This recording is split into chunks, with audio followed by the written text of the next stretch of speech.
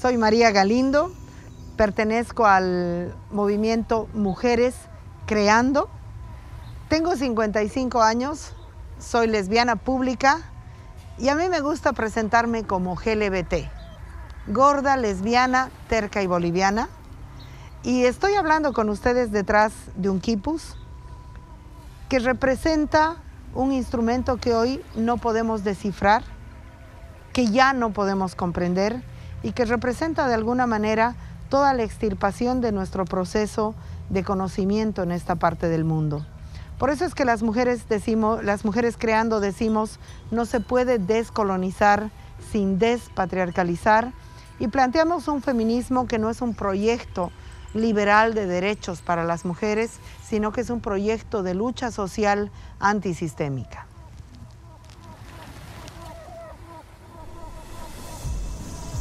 La despatriarcalización es una propuesta política y tengo que decirlo, nacida de mi autoría, nacida en el seno, en la barriga, en las tripas de las mujeres creando, que ha sido plagiada por el gobierno boliviano y que ha sido también plagiada luego por muchos intelectuales, especialmente feministas, que no reconocen la autoría y a mí me parece es un juego de, de deshonestidad intelectual. La despatriarcalización la planteamos en tres sentidos. El primero, como un hecho que ya está sucediendo en nuestras sociedades, que quiere decir que las mujeres, especialmente las mujeres del campo popular, las mujeres de abajo, las mujeres más pobres, las mujeres más jóvenes, las lesbianas, las trans, las mujeres en prostitución, estamos ya en un proceso de desobediencia que yo la llamo como un proceso de despatriarcalización de hecho. Entonces la despatriarcalización en ese sentido es un punto de partida. La despatriarcalización es un método, es decir, es cómo enfrentas una estructura de poder, una institución patriarcal, la enfrentas para despatriarcalizarla. Es como un método contrario a la lógica que nos venden que es del empoderamiento, porque si el problema es el poder, lo que hay que hacer es despojar de poder esa relación, despojar de poder esa institución y eso es despatriarcalizar. No empoderar, sino desestructurar el poder. Y por último, la despatriarcalización funciona como utopía, como horizonte. No se trata, y en ese sentido sirve como un punto de confluencia de los más diversos y diferentes feminismos, porque no hay un feminismo, hay muchos feminismos hoy eh, muy vivos y que están naciendo en nuestro continente, que necesitamos un hilo de confluencia. No decimos, cada quien que haga las prácticas políticas que le parezcan, cada quien que responda a la matriz política, ideológica que quiera, pero necesitamos las feministas un hilo que nos conecte, un punto de confluencia, y ese punto de confluencia se llama despatriarcalización en cuanto a utopía social.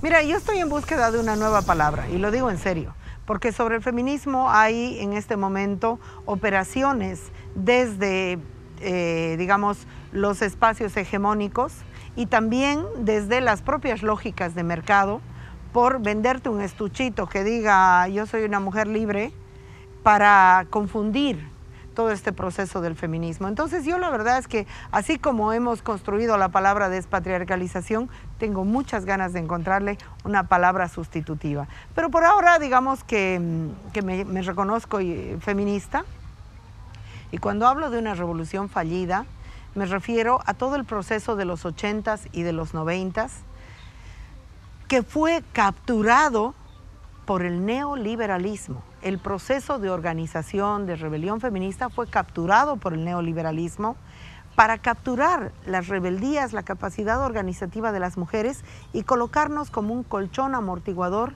de las políticas del ajuste estructural nacidas en los años 80. Entonces, para ponerte algunos ejemplos, el sobreendeudamiento de las mujeres, fue parte esa, esa cosa del microcrédito a las mujeres y convertir a las, deudor, a las insolventes desempleadas en deudoras y emprendedoras, eh, fue una de las operaciones eh, precisamente del modelo neoliberal Y esas operaciones se las calificó como feministas. Cuando nosotras decimos eso no es feminismo, eso es tecnocracia de género. Otra de las capturas de los años 80 y 90 fue la ley de cuotas en los partidos políticos y la ley de paridad y alternancia, que es agarrar mujeres para representar proyectos patriarcales bajo la lógica de que una mujer representa a otra mujer bajo un principio biológico y no para un, bajo un principio ideológico. Entonces, em, hay una fallida revolución feminista que tenemos que tomarla muy en cuenta para que en este nuevo, nuevo ciclo de feminismos y de efervescencia de nuestras luchas, no nos vuelva a pasar lo mismo, no, no eh, tropecemos, como dice el bolero, eh, con la misma piedra, ¿no? Mira, yo creo que se han agotado algunas de las estrategias de lucha del movimiento popular. La huelga de hambre está completamente agotada. La marcha masiva está de muchas maneras agotada, pero más allá de que esté agotada, está inhabilitada para comunicarse con la sociedad, está inhabilitada como forma de resistencia, está inhabilitada como forma de activar la fuerza creativa de la lucha social.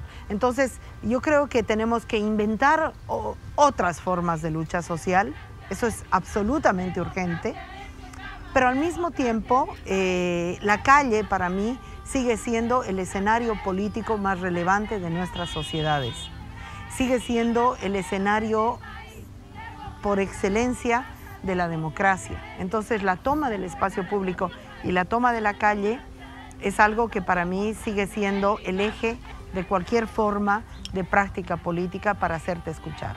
Y al mismo tiempo creo que tenemos que construir una voz pública, necesitamos una voz pública para hablar, para soñar, para denunciar, para reír. ¿Y cómo se construye esa voz pública? ¿Desde dónde se construye esa voz pública? ¿A partir de qué se construye esa voz pública?